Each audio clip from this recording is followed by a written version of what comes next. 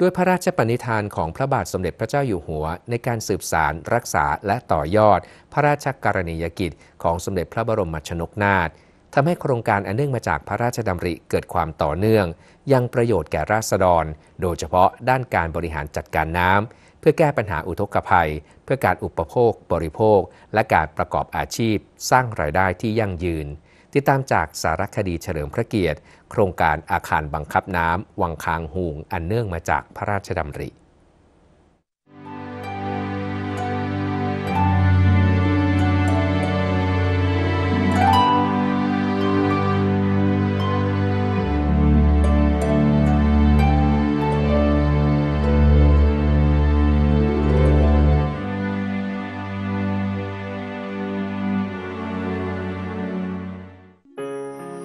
บ้านวังทองอำเภอบ้านดุงจังหวัดอุดรธานี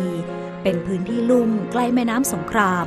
ส่งผลให้ต้องเผชิญกับปัญหาน้ำท่วมซ้ำซากในช่วงฤดูฝน พืชผลการเกษตรเสียหาย ล้มตายไปกับสายน้ำและเมื่อถึงหน้าแล้งก็ต้องเผชิญกับปัญหาการขาดแคลนน้ำสำหรับทำการเพาะปลูก ด้วยพระมหากรุณาธิคุณของพระบาทสมเด็จพระบรมชนากาธิเบศรมหาภูมิพลอดุลยเดชมหาราช บรมนาถบพิตร ที่ทรงห่วงใยราษฎรที่ตกทุกข์ได้ยาก จึงทรงพระกรุณาโปรดเกล้าโปรดกระหม่อม รับโครงการอาคารบังคับน้ำวังคางฮูงไว้เป็นโครงการอันเนื่องมาจากพระราชดำริ เมื่อวันที่ 3 มีนาคม พุทธศักราช 2558 เพื่อช่วยเหลือราษฎรในพื้นที่ ให้มีน้ำใช้เพียงพอ และรอดพ้นจากปัญหาอุทกภัย โดยกรมชลประทานเริ่มดำเนินการก่อสร้าง โครงการอาคารบังคับน้ำวังคังฮูในปีพุทธศักราช 2562 มีลักษณะเป็นอาคารระบายน้ำล้นคอนกรีตเสริมเหล็ก ขนาด3คูณ3เมตรจำนวน 7 ช่อง ก่อสร้างประตูระบายน้ำขนาด 2.40 คูณ 2.70 เมตร พร้อมบานเปิดปิดจำนวน 4 ช่อง และฝั่งตรงข้ามจำนวน 2 ช่อง ขุดลอกหนองวังคางหูงพร้อมขนย้ายทำคันดินบดอัดแน่น ปริมาณดินขุด 154,800 ลูกบาทเมตร และสร้างอาคารท่อรับน้ำขนาดท่อ 0.80 เมตรจำนวนสองแถว แล้วเสร็จในปีพุทธศักราช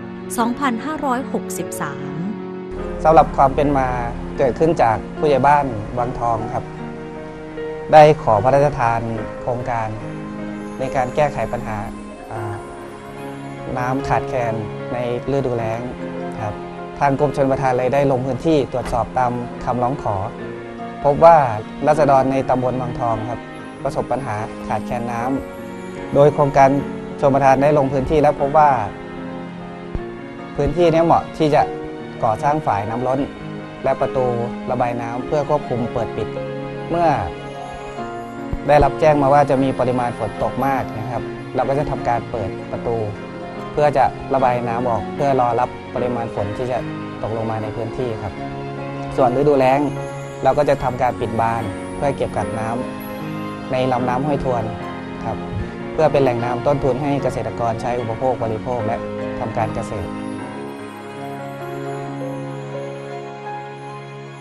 ก็หลังจากที่สร้างเปิดประตูน้ำเสร็จแล้วก็ก็คือสามารถแก้ปัญหาน้ำท่วมและน้ำแล้งได้ เพราะว่าฤดูน้ำก็คือสามารถที่จะทดน้ำออกได้ทันได้ทันได้ทันเวลา แล้วก็สามารถกักเก็บได้ในฤดูแล้งสามารถที่จะช่วยเหลือเกษตรกรได้มาก ไม่ว่าจะเป็นด้านปศุสัตว์ ไม่ว่าจะด้านของการเกษตร ก็คืออย่างน้อยก็คือ แก้ปัญหาเรื่องของภัยน้ำน้ำท่วม ในฤดูน้ำหลากก็คือปกติก็คือชาวบ้านเขาก็ปลูกข้าวกันอยู่แล้ว ก็แก้ปัญหาในส่วนนี้ได้สำหรับเกษตรกร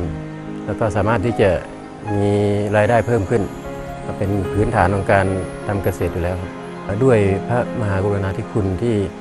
ในหลวงได้พระราชทานมา ก็คือเกิดประโยชน์อย่างยิ่งสำหรับประชาชนราษฎร แล้วก็แก้ปัญหาชาวบ้าน แก้ปัญหาความเดือดร้อนให้ชาวบ้านได้ ก็ด้วยพระมหากรุณาธิคุณที่ในหลวงได้พระราชทานมา ด้วยพระราชปณิธานของพระบาทสมเด็จพระเจ้าอยู่หัว ในการสืบสารรักษาต่อยอด พระราชกรณียกิจของพระบาทสมเด็จพระบรมชนากาธิเบศรมหาภูมิพลอดุลยเดชมหาราชบรมนาถบพิตรเพื่อประโยชน์แก่ราษฎรทรงพระกรุณาโปรดเกล้าโปรดกระหม่อมให้ ทุกหน่วยงานที่เกี่ยวข้องติดตามโครงการอาคารบังคับน้ำวังคังหูอย่างต่อเนื่อง โดยคำนึงถึงประโยชน์ของราษฎรในพื้นที่เป็นสำคัญ ปัจจุบันราษฎรกว่า 400 ครัวเรือน มีน้ำอุปโภคบริโภคอย่างเพียงพอ ช่วยเหลือพื้นที่เพาะปลูกที่เคยประสบอุทกภัยในช่วงฤดูฝนได้ 900 ไร่ สามารถทำการเกษตรในหน้าแล้งได้ 300 ไร่ ส่งผลให้ราษฎรมีอาชีพ และรายได้ที่มั่นคง มีความเป็นอยู่ที่ดีขึ้น โครงการชลประทานอุดรธานีนะครับ ก็ได้ วางแผนที่จะต่อยอดโครงการอันเนื่องมาจากพระราชดำรินะครับ โดยการทำโครงการสถานีสูบน้ำนะครับเป็นระบบท่อส่งน้ำนะครับ ระบบนี้จะผ่านไปยังพื้นที่การเกษตรของเกษตรกรนะครับ นอกพื้นที่โครงการเดิมนี้นะครับ เพื่อขยายพื้นที่ชลประทานให้กับเกษตรกร ได้มีน้ำใช้นะครับ ซึ่งระบบนี้นะครับเกษตรกรจะสามารถเปิดปิดได้ด้วยตนเองนะครับ อาคารบังคับน้ำวังคังหุงอันเนื่องมาจากพระราชดำรินี้นะครับยังประโยชน์สุขแก่ประชาชนราษฎร หมู่บ้านวังทอง และอนาคตนะครับก็จะเป็นหมู่บ้านใกล้เคียงได้รับประโยชน์ด้วยนะครับน้ำเพื่อการเกษตรนะครับก็จะมีความยั่งยืนนะครับ อันนี้ก็ด้วยพระมหากรุณาธิคุณของทั้งสองพระองค์